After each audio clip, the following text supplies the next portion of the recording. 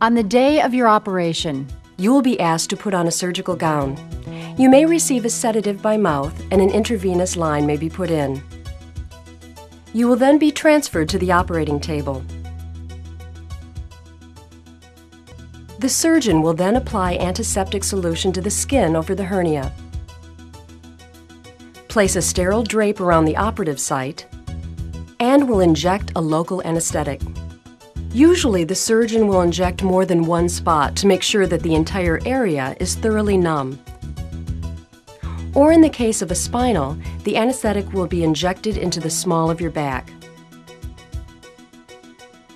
After allowing a few minutes for the anesthetic to take effect, the surgeon will make a shallow incision 3 to 5 inches in length directly over the hernia.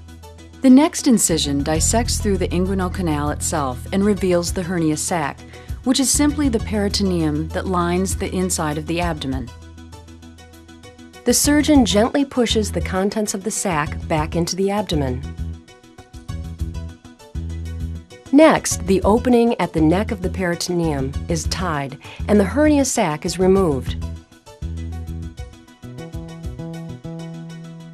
The inguinal canal itself is closed with sutures. These dissolve over time and do not need to be removed.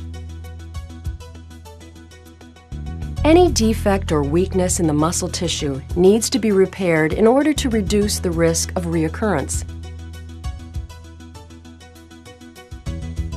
Occasionally, the surgeon will use a mesh patch to help reinforce this area.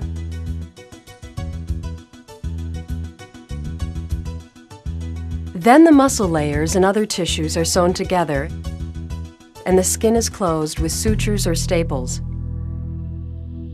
Finally, a sterile dressing is applied.